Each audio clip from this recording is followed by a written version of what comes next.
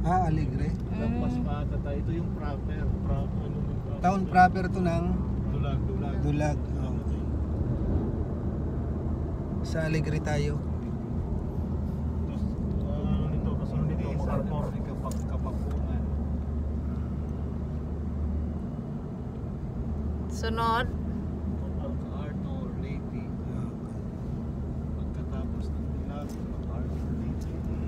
Tapos Burawin na ano bro. Burawin dito. Ah. Abuyog na.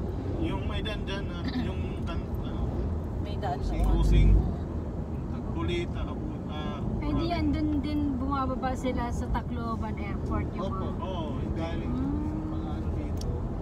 Doon ang pinaka-airport na sa Tacloban. pinaka-airport, pinaka-sentro doon. Buong Samar, buong ano dito sa may Bisaya. Malawak din yung airport eh.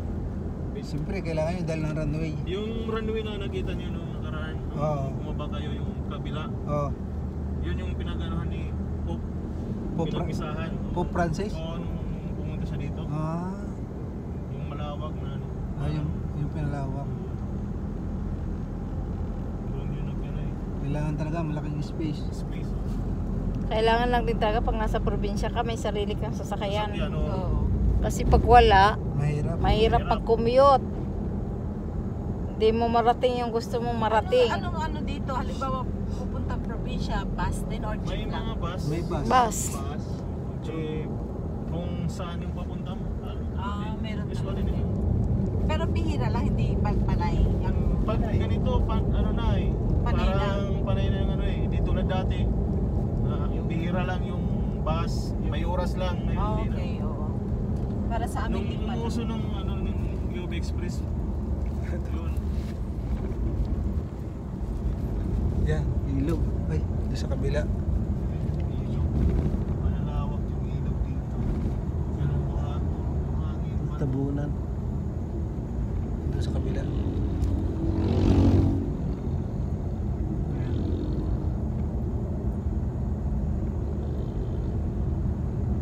Sarap dyan maghunting sa ilog.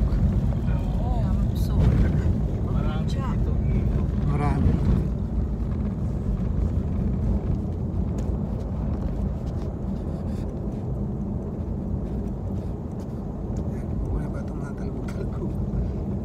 Kaya sila kapag sila manonood, natutulog na sila kasi antok na sila sa hino sa galaw. Mo iyan ang kamay mo.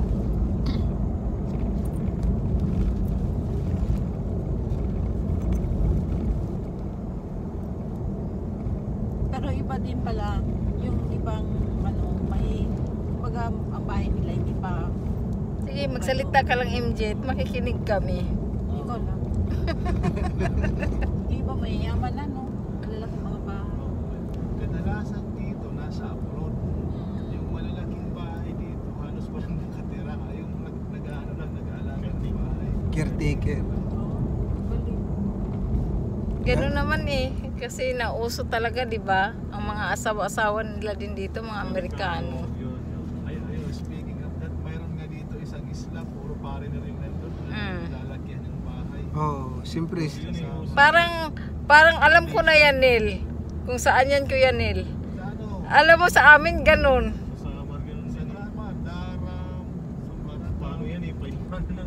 Ayun lang yung kasi yung time na parang makatawid ka sa kahirapan. Oo. Kailangan mo mag-asawa sa pare. Foreigner. Kaya hindi mo rin masisi. Pero swerte-swertehan din. Hindi. Hindi na naman lahat swerte. pag nakakapunta doon sa lugar, Meron nalong. Lalong napapahamak din lalo eh.